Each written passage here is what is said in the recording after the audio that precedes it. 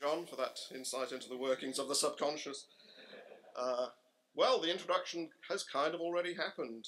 Uh, the first session is a paper co authored by Peter Graham and David Henderson, but Peter is going to present the first session. So, without any further ado, shall we welcome our first speaker from the University of California at Riverside, Peter Graham.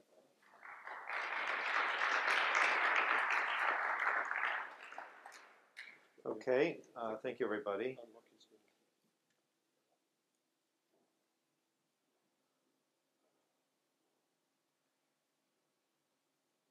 Easy.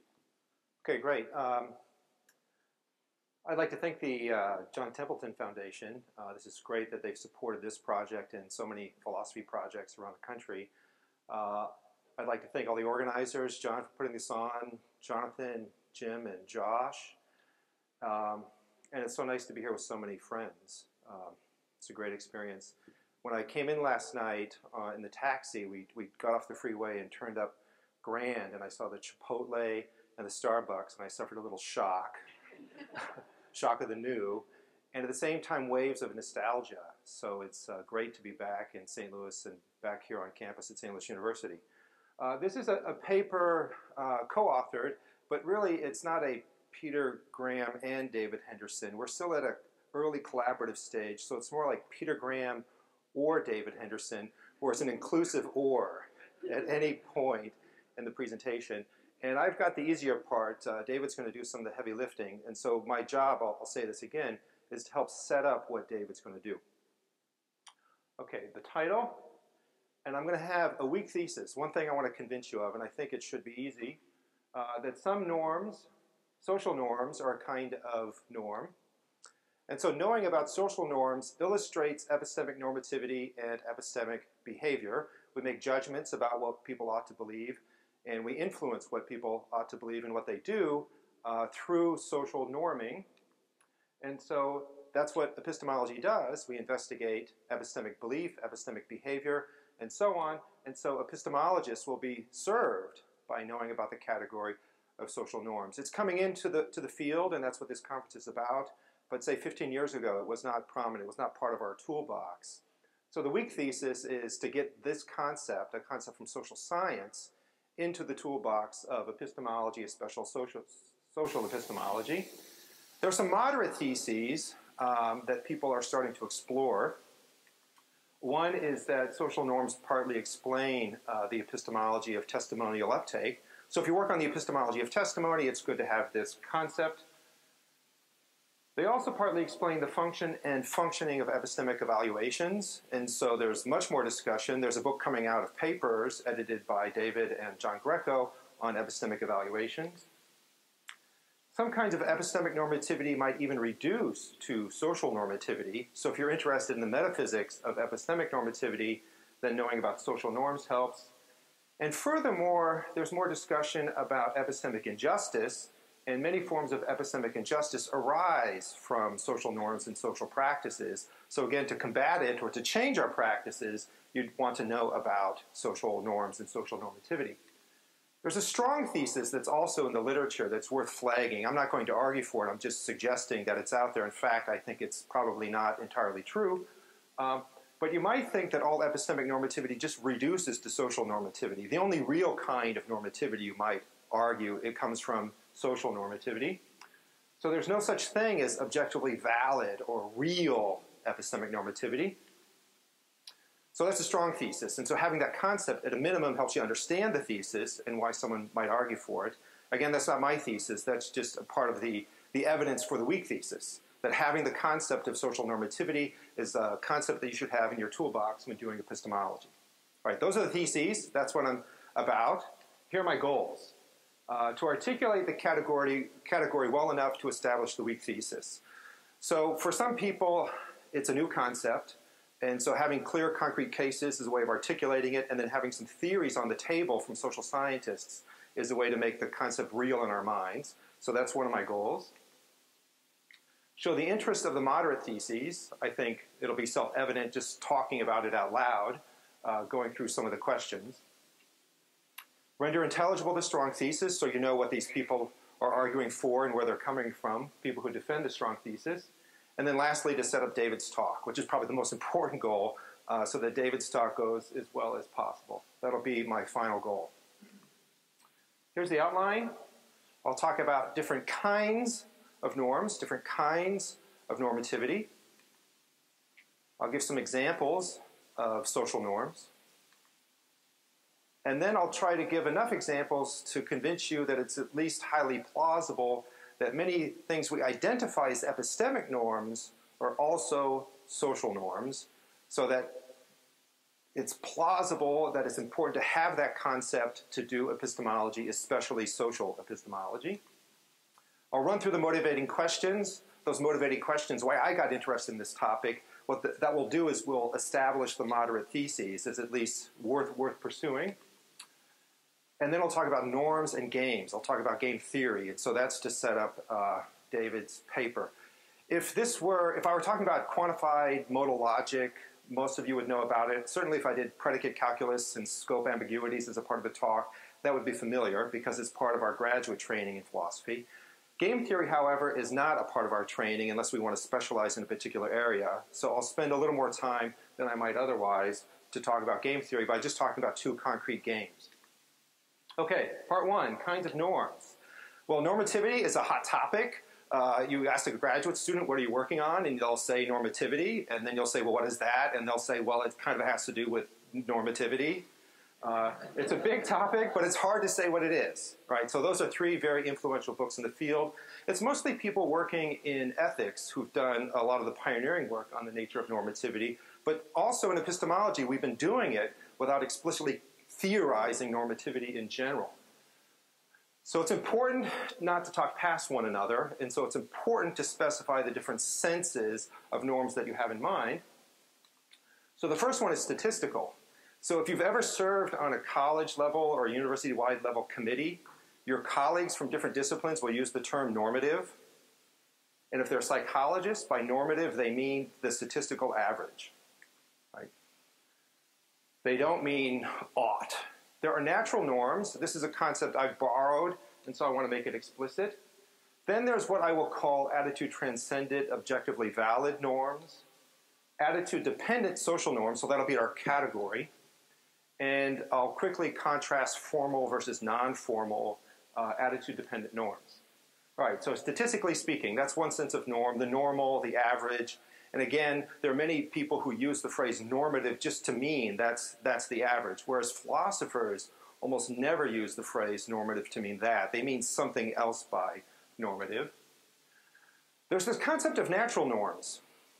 So, natural norms are associated with functions, and this is a passage, you can't see it, but it's a, a passage from Tyler Burge, who says whenever there are functions, there are norms. So, if the function of the heart is to pump blood, a norm is a standard or level of adequacy of performance of the heart in serving that function. In other words, given a function, how well are you doing? Right? And there are different dimensions, different ways of asking the question, how well you are doing. So whenever there are functions, there are natural norms. Uh, and here's a, another phrase. What, what you can't see in the text is that natural norms do not depend on anyone's pro attitudes. So an animal its organs have functions, and so there are norms associated with the functions of the organs. But the animal doesn't have to have any idea about this whatsoever, doesn't have to embrace these standards or think it's a good idea or prescribe beating to its heart. So there are norms without any psychological attitudes. Right? Those are going to be natural norms. Uh, he argues for this in a paper and then later in his book, uh, Origins of Objectivity. And I think he's taking the phrase uh, from Philippa Foot, and it's a part of her project in ethics to use the notion of natural norm to anchor epistemic normativity and epistemic, I'm sorry, moral normativity and moral virtue. Then there are attitude transcendent norms. So this is sort of what you learn uh, sometimes in philosophy, and maybe it's something you learn from Plato, that there are, there are just are these norms, these standards. And maybe when it comes to ethics or morality, these standards of moral behavior, how we're supposed to act, how we ought to act. And if we don't act that way, or if our culture doesn't act that way, if our culture doesn't embrace these norms, they're just wrong. So just as the laws of nature are attitude transcendent, it doesn't matter what we think, whether Newton's laws of gravity are true or not, so too the laws of morality or the laws of normativity are just out there independent of anyone's attitudes. Their attitude transcendent, and it's our job to get those right. Right? So that's a strong realist view about the nature of normativity. And sometimes when people use the phrase in philosophy, normativity, or that's not really normative, they're expressing a commitment to this kind of view about the nature of normativity. That normativity is attitude transcendent. Right? That's one sense of norm, or one sense of normative. Then there's attitude dependent senses of norm. So when the sociologist and the psychologist uses the phrase normative attitude or social norm, what they're talking about is our normative attitudes in the sense of the things we think we ought to do. So when we make judgments or we have preferences, we're oughtiness, like, oh, that's terrible, or that's, that was well done, or that's really what you ought to do, or don't do that, you shouldn't do that. When you're expressing those kinds of pro attitudes, they will call those normative attitudes because in the content of the attitude is normative vocabulary or normative sentiments or normative feelings of obligation or oughtiness. Right? So those are attitude dependent norms, and that's our topic. What's going on in the minds of individuals within groups. So social norms is the big category that you find within social science of attitude dependent norms and normativity. So here's the Wikipedia definition. All truth lies within Wikipedia. Uh, I think it's on, the, on your handout. So norms are cultural products. They're not transcendent. They're not outside of culture. Individuals have this knowledge.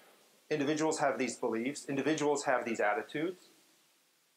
And they exist as representations within individual minds and, say, within the collective. That's where the norms are that we're talking about. Philip Pettit wrote an article that was really influential on my thinking on this topic called uh, Virtus Normativa.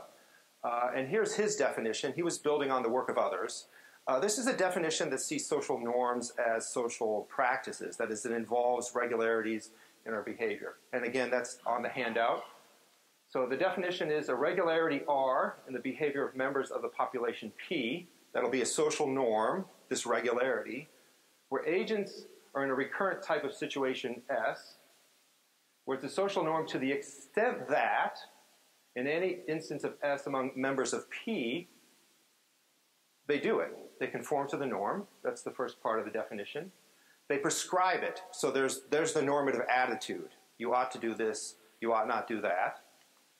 And the fact that they prescribe it actually moves them to conform to the norm, to conform to the prescription. So it generates or at least partly explains the regularity.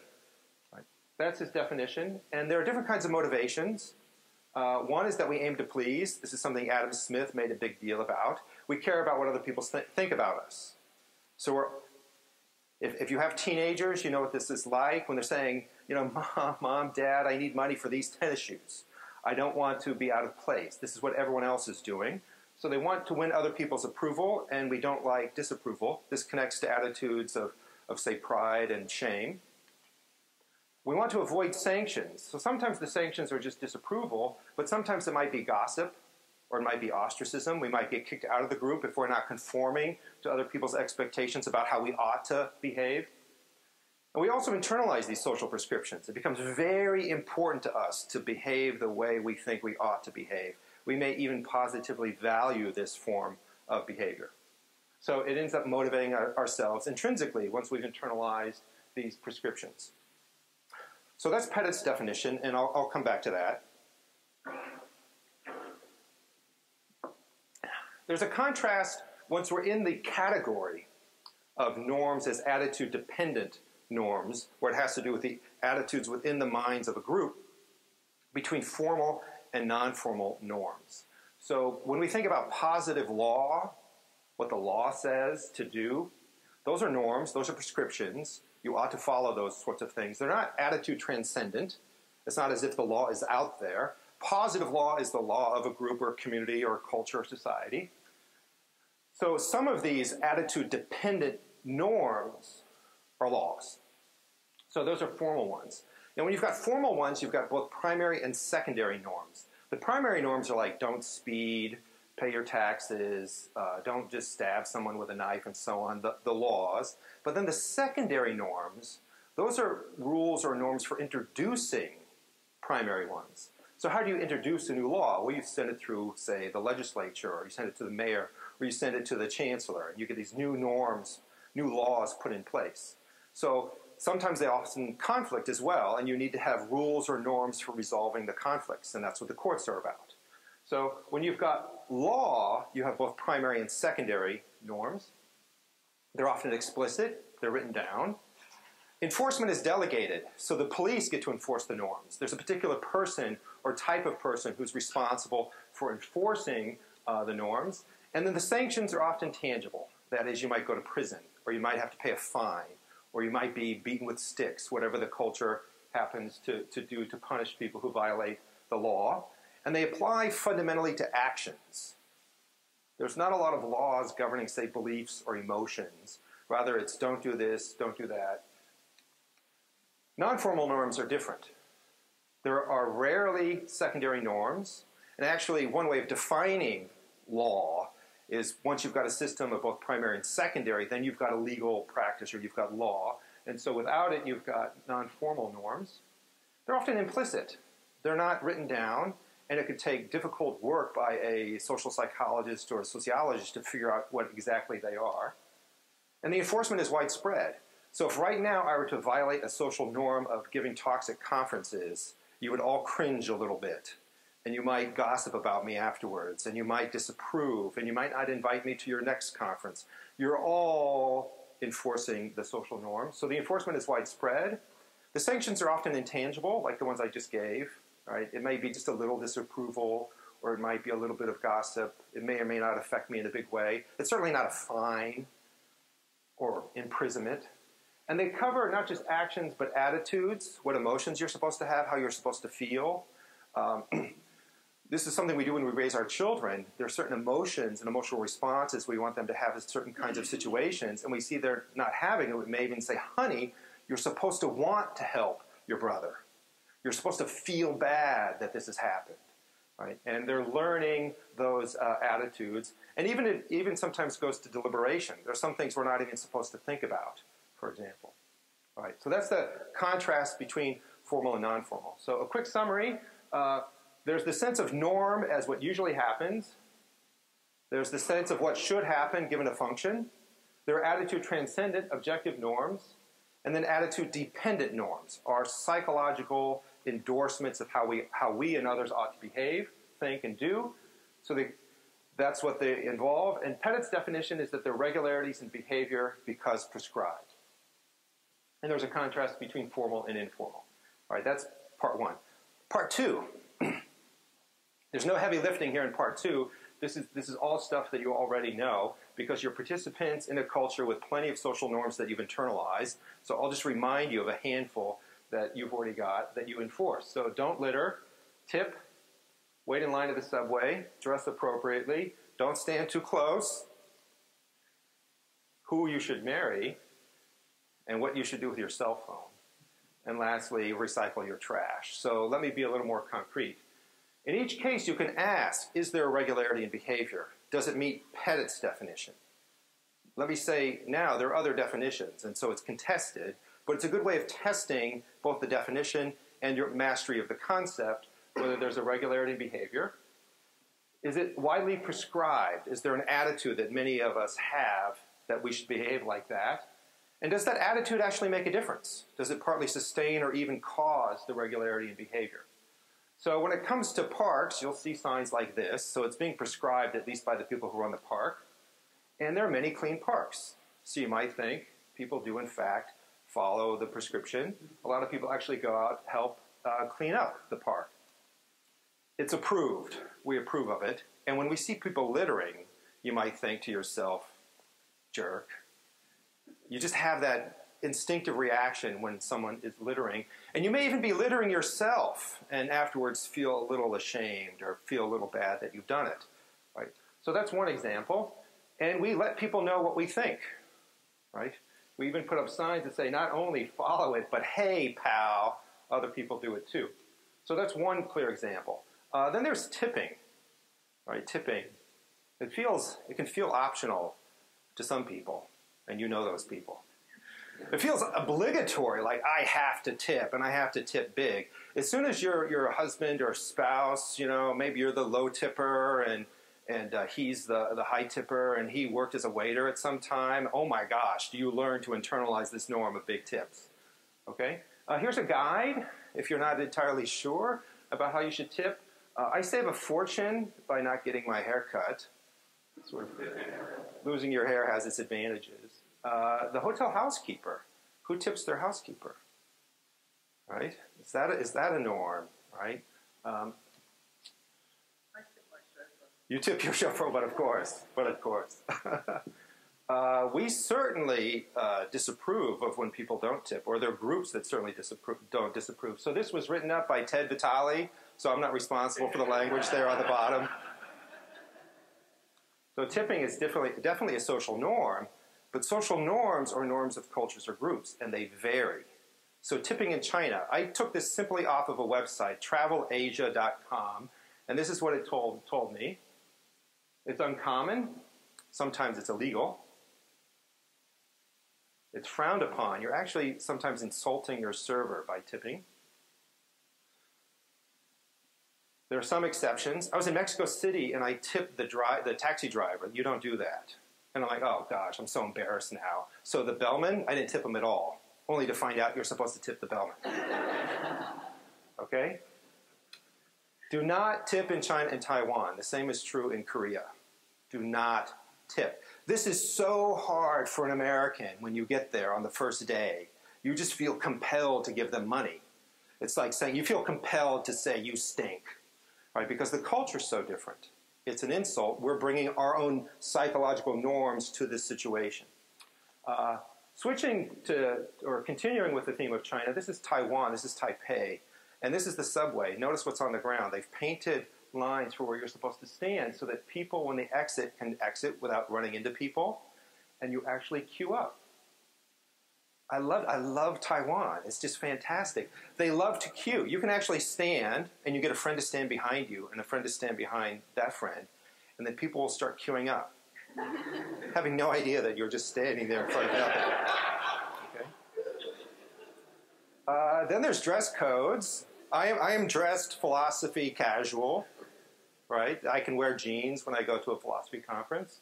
Um, when someone is really out of place, it feels very uncomfortable, both for the people there and for the person uh, dressed. So here's, here's an example of coming inappropriately dressed. Here's an even better example for those of you who watch Saturday Night Live.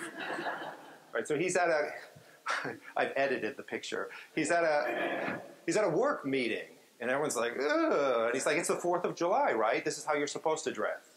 Certainly not at work. Uh, then there's personal space. So I know David well enough where I can walk right up to him and not make him feel too uncomfortable.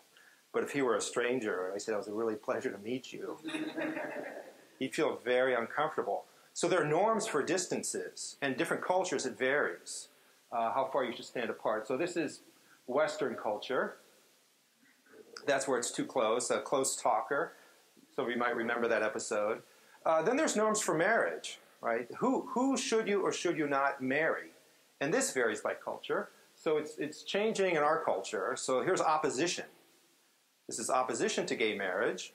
Um, and for a long time, of course, it was frowned upon, disapproved of, it was illegal. Uh, but that's changing. And so gay marriage is now legal in, I think, half of our states. Uh, and here's an interesting study about the difference between the law and social norms. So in 1967, full access to interracial marriage. Uh, but I just saw a report the other day in some country, some states in the United States, over half of the population is still against interracial marriage. They disapprove. So it happens, but how prevalently does it happen? And notice how gay marriage, the legality has come after changes in attitudes. Right? Uh, so there's one.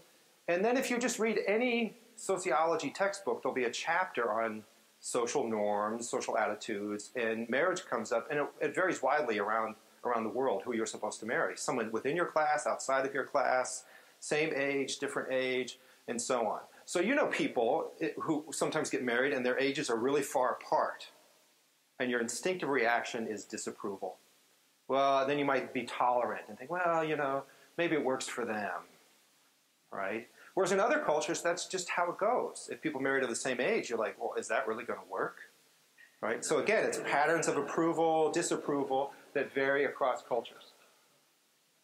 Uh, so this is just a slide again from some sociologist's lecture on, on this topic about how they're not natural but arbitrary, cultural defined. They do they have to do with our attitudes about how we should live together.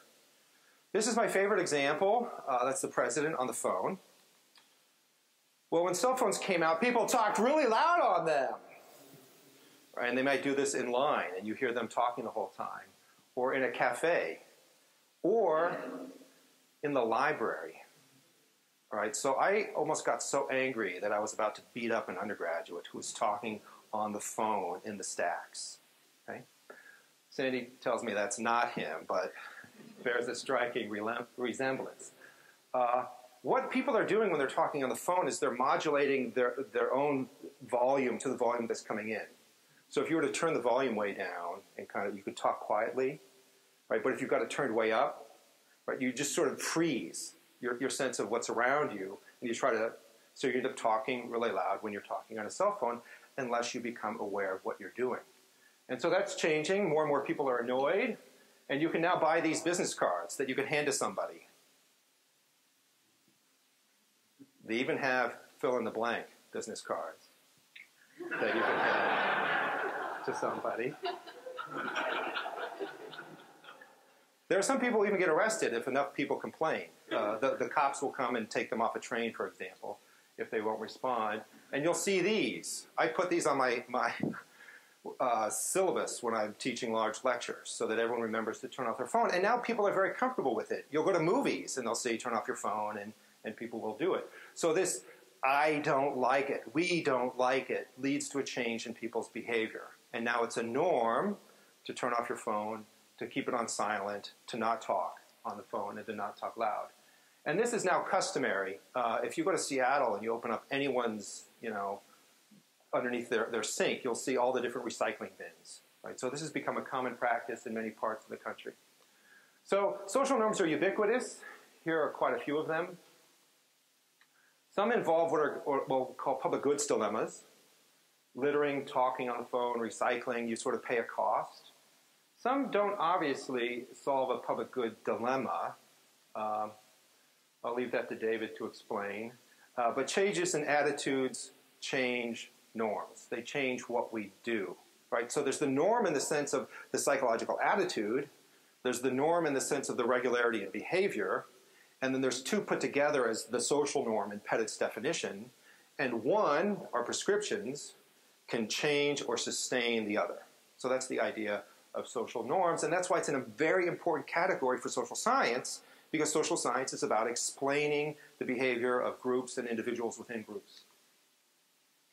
Okay, now to epistemic norms. Could epistemic norms be social norms?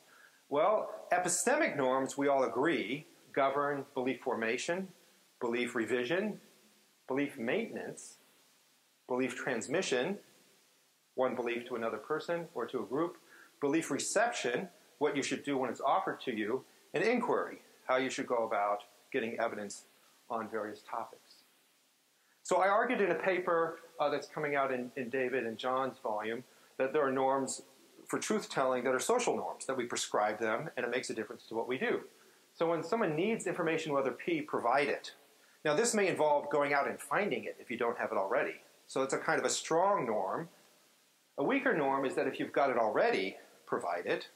And this isn't the same as simply giving it when you're asked. When someone's walking around lost, maybe the norm is walk up to them and say, Are you lost? That could vary. You could have that kind of norm. And here's the weakest one, which is don't mislead or lie. We disapprove of people who mislead or lie. So I've argued for that. Uh, but in general, how would you find out whether epistemic norms are social norms? Well, you just take the definition and then you go and see. you do a little investigation. So I think it's certainly true that there are people who express these attitudes. So believe on the evidence is something many people prescribe And part of Clifford's project in that very famous paper was to encourage people to follow the norm, believe on the evidence. And he gave examples where people didn't, and he expressed extreme disapproval. Now, maybe it was a moral failing, so it's a moral expression of a judgment, but it's certainly an attitude dependent expression of a judgment. And in critical thinking classes, we're trying to help our students improve their ability to do this. And sometimes it's really, we're really norming them into these standards as opposed to, well, you know, here's what critical thinking is, and you're going to take an exam. I don't really care if you do this. I just want you to have this knowledge about what it is. Right? It's not really a purely academic pursuit. We're really trying to change their minds and change it not by just giving them the skills, but by getting them to internalize the prescriptions that this is how they really ought to reason. And of course, the scientific method is what we teach them in many of our courses across the university.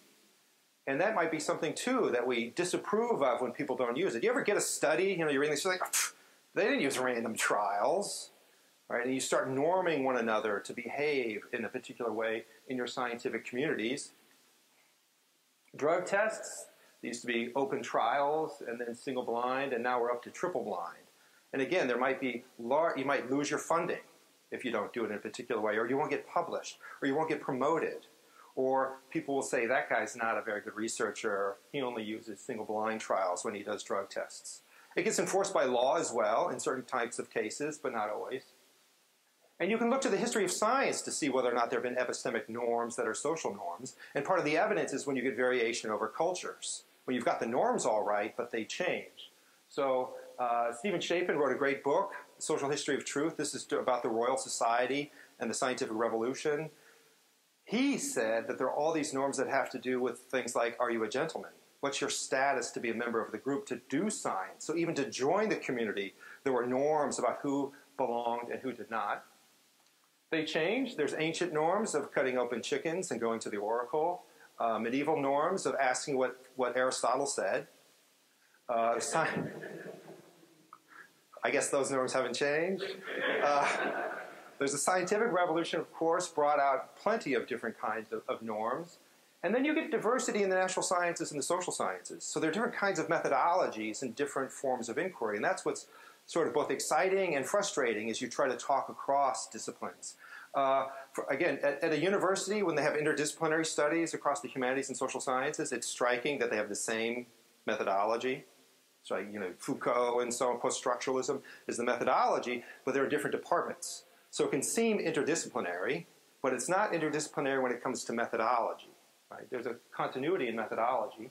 And of course, in the humanities, what counts as methodology are the norms of good belief formation, inquiry, argument, and so on in philosophy. Right? So we can think of communities in part as their methodologies. So just as we think of cultures as their social norms, so China is different from the United States because of tipping, so too one discipline is different from another discipline because of their methodology. So you can turn to the sociology of science to look for norms. Uh, Robert Merton was a famous uh, sociologist who got this up and running, the sociology of science. And he just said the norms are, and the definition we see up here is social norms. They look like social norms. They're implicit, they figure them out. It's a part of being a member of a group.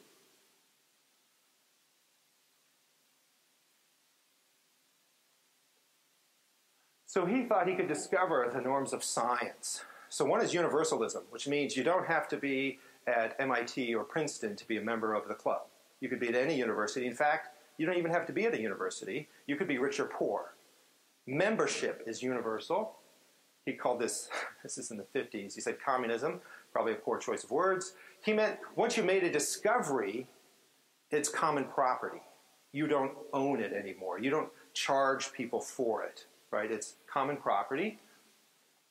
And you're supposed to be disinterested. You're out to discover the truth, not for fame. Going for fame is frowned upon. And the scientific method. So, what we clearly see as epistemic norms, that's a part of science, but there are also norms about how science is to be conducted, who belongs, who doesn't, and so on. And there are anti-evidential norms in various communities. So this is this this is, I saw this at the airport. This is the latest issue of National Geographic, The War on Science. So to be a member of some communities is to be opposed to vaccinations, or to be opposed to evolution, or to disbelieve climate science, and so on. All right, so quickly, a summary. There's at least a prima facie case for thinking that when, when we're thinking about epistemology and epistemic norms, a lot of those are social norms. All right, motivated questions. This will be familiar to it. I'll go through this section fast. So, why should we care as epistemologists? Why not just leave it to epistemologists? Well, I got interested because I'm interested in this question. Right? Many of us here are interested in this question. Why do people tell the truth? Why not keep it to themselves? Why are speakers as reliable as they are when we're sharing information? What's our motive? So I started thinking about cooperation. What explains cooperation in general? And there's been an explosion of research about explanations of human cooperation. It used to be a puzzle. We were only after our own individual self interest. Why do we help each other out? And social norms has become one of the prominent answers. It's because we norm each other for cooperative behavior. And even Paul Faulkner, uh, he beat me to this thesis. Uh, this is an article called Norms of Trust, and of course, you can't see any of that. But his answer to the question, why do we have reason to trust other people, is because there are norms for truthfulness, social norms for truthfulness. Uh, this is a talk I've given a couple times where I've argued that the reliability of testimony is partly explained by social norms, and it's that that got David and I cooperating on this, on this topic. So it's relevant to one of the questions we care about. So that supports the moderate thesis. Also, what is the point and purpose of epistemic evaluations? We're now interested not simply in, in these eternal norms, but when we're norming each other, why are we doing it? Um, so this got fired up interest in this by uh, Edward Craig's interesting book, which Lizzie has destroyed in her excellent recent article on the topic. Uh, but it's got a lot of interest, and here's the table of contents for uh, David and John's uh, book of essays uh, on this on this topic. And uh, Sinan Dogramaci is defending a thesis that he calls epistemic communism, where he thinks our epistemic evaluations get us to conform to the same norms. So we coordinate on the same standards. So I can always take whatever you say at face value because you're using the same standards I'm using. So you're another me. Right? Uh, Dogramaci's argue for that. We might even ask uh, about norms when it comes to speech acts. So, what norms govern speech acts? Uh, Searle famously argued uh, that speech acts are rule governed, rule constituted. Uh, this is something William Alston has also said that in making a speech act, you're taking on certain f- kinds of responsibilities to engage in certain forms of behavior. That could be a social norm. Uh, Sellars and, and Wittgenstein famously argue for this as well. And another paper, where Brandom argues against Grice, a Gricean view of speech acts. He says it all has to do with norms. So maybe the norms are social norms, and this is something uh, Timothy Williamson did not argue for. He argued that they were constitutive norms like rules of the game, and today Lizzie will enlighten us on this topic. They're both. Okay. Great. And we're all anxiously awaiting our free copy of this book in our mailboxes. Another deeper question, and this is the question ethicists are interested in, is the metaphysical basis of normativity. So Wittgenstein has been very influential, and Sellars in thinking that it really is just behavioral norms, cultural norms, and maybe that's all there is to epistemic normativity. You find this defended in Rorty. He calls his view epistemological behaviorism, and then a more sophisticated way in work from uh, Michael Williams. So maybe all there is to epistemic normativity is social normativity. And a nice little review by Matthew Chrisman, and this is bringing together the literature of, from expressivism and ethics to the literature on epistemic normativity in epistemology. Lastly, there's epistemology as engineering. There are many people who will say epistemology is normative. I never knew what that meant, other than, well, you know, we're trying to discover what justification is. And that's normative, isn't it? What they mean with people who insist on this is the job of the epistemologist is to change the world. It's revisionary, it's engineering. Right? So, uh, Bishop and Trout, they think analytic epistemology is sterile, it's a waste of time. What we really need to do is figure out what works and then get people to use the things that work. We need to change the norms. That was their project. Uh, Miranda Fricker has been interested in this, that there are many social norms about who to believe and who not to believe. And she thinks this means people get discounted. There's a, a kind of injustice that people are not given their due respect. when it comes to receiving their testimony. And Steve Fuller, insofar as I understand what Steve Fuller's up to, it's really about models for changing what we do. Right? So philosophy, its job, or epistemology, its job is to come up with proposals to change the way we do science, the way we do inquiry, the way we organize our lives. Okay. So I think these are all good reasons to be interested in social norms, and we already are, even if we don't have the concept explicitly theorized throughout social epistemology. All right, so I think that's enough for the weak thesis. Now comes for the good stuff, and I've got six minutes to stay within 45. Okay? This is the fun part. So, weak thesis, you should have the concept. It's a useful concept. Moderate theses, moderate theses, maybe a lot of norms, maybe a lot of epistemic norms are also social norms. And so the question you might be interested in when you do social epistemology could be illuminated, better understood, argued for in a clearer way by making use of the concept of, of social norms. Um, okay, norms and games. This is a bit of a, a, shift. So, game theory, it's all the rage. Uh, it kind of unifies various parts of the social sciences. So, you've got economists who know it, you've got political scientists who know it, you've got sociologists who know it, you've got anthropologists who know it, and of course, you've got mathematicians who love exploring it. Okay? So it's become a, a rich tool within the social sciences, and my understanding of it is, is entirely elementary, uh, but I see that it's very important that if you're going to do social epistemology and philosophy that's related to social science, it's a concept you really need to possess. So the way to introduce it is with the prisoner's dilemma. Now, for some people, this is a piece of cake. You've taught the prisoner's dilemma hundreds of times yourself. I always get stuck. My brain freezes up looking at these. Here's the way to think of it. Uh, the prisoner's dilemma is that two people have been arrested, they're buddies, maybe they're Confederates, they're separated out, and the, the district attorney or whoever says, Look, if you confess, I'll give you a shorter sentence. And your buddy's in big trouble. But if your buddy also confesses, your buddy gets a shorter sentence, maybe five years. But if both of you keep silent, it's just one year. And if you confess, you'll go free. Is that right? No, no. If you confess, you, if, if we'll just walk through it. See what I mean? See what I mean? Okay. So A, A, prisoner A has two choices. He can confess or he can remain silent. Those are his two choices. And here's how he reasons. He so says, suppose my buddy confesses. Well, if my buddy confesses and I confess, I get five years. If I remain silent and my buddy confesses, I get 20 years. Five years is better than 20. So, on the assumption that my buddy confesses, I should confess. And he says, okay, suppose my buddy remains silent. Well, if I confess, I get, I get to go free. This is a great deal. But if I remain silent and my buddy remains silent, it's a year. Well, zero is better than one when it comes to going to prison, so I should confess.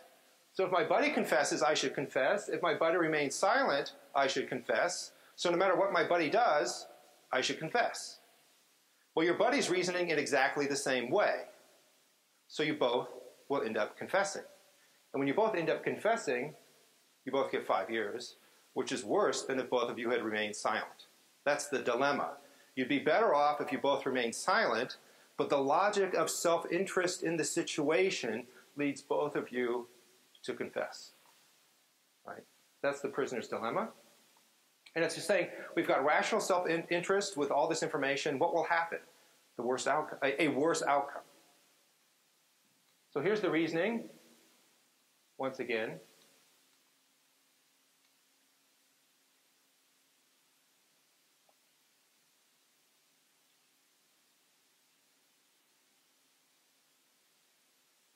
here's, here's another one, the public goods game, right? So this is a great, a great slide. You've got the people cooperating. These are the people cleaning up the trash, vacuuming the floors, building the house. But it's a public good, which means everyone gets access to it. Right? So if other people clean the park, I can walk into the park whether I cleaned it up or not. So you've got the people on the right who are kind of free riding. They're taking advantage of the public good without putting in the labor necessary for the public good to exist. Right? This is a great concept to have because we're facing these challenges all the time in our life. So, a friend of mine is in a guild in World of Warcraft. So, I've learned about World of Warcraft in order, in order to understand my students. It's the most popular video game online in the world, and you play in groups. And there's a leader who takes responsibility for doing the work to organize things. Now, if you're thinking, wow, I really want to be in a guild that's well organized, that runs on time, that gets things done, I, I just love that. But I don't have time to, to put in any work. So I want to be in a guild where I don't have to do anything. Well, what happens to the guy running the guild? Burnout, anger, frustration. I see a couple people nodding heads like, yeah, when I was in my guild, this happened all the time. All right? Anger and frustration that people are not helping out. So every department chair knows what this is like. When you're running a tight ship, and in order for things to happen, people need to contribute, and it's mostly voluntary. And there are some people who never show up, but they benefit from the well organized department. They're free riders, right? Well, once you start to see that other people are free riding on you, what's your reaction, Sandy? You quit. Actually, you don't. You keep signing up for more. you quit. And then what happens? It falls apart. So the average length of time of a guild in World of Warcraft is three months. They come together, they play for a while, people get angry and upset, and they fall apart. So you can do this in terms of littering, right? So if I if I show up and other people are picking up, the park is clean. What do I want to do? Do I want to pick up or do I want to enjoy the park and just leave my trash? Well, picking up my trash takes effort. I don't want to pay that cost, so I'm going to litter rational self-interest. I get to clean park, but I don't have to pick up my trash. That's fantastic. I can be in the group, I can be in the department without doing any work.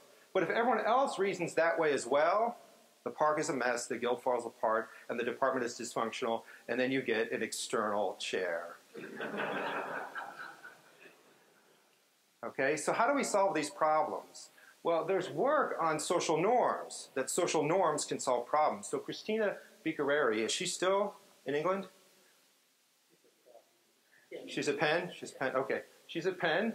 Uh, she's written this fantastic book from 1986, I think. Is that really fantastic book uh, on the nature of social norms? And she gives a definition that's different from Pettit. So this is to illustrate the point that there's more than one definition out there, and this is what uh, David's going to build on in his his uh, talk. So here's the definition. It's on the handout.